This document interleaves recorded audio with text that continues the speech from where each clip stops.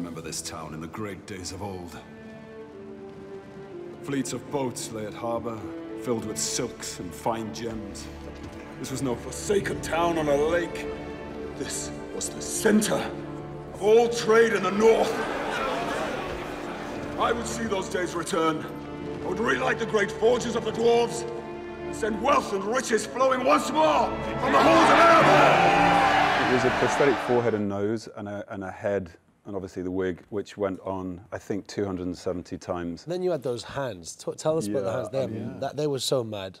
Up to Still there, think- weren't they? I still think we could have got away with not actually having the hands, just sticking a bit of hair on them. I guess it, w- it was all about scale, so the heads were bigger, the hands were bigger. I mean, I loved having those big muscular forearms. The sausage fingers, and you know, when you need to use the loo in between takes, it's so disappointing.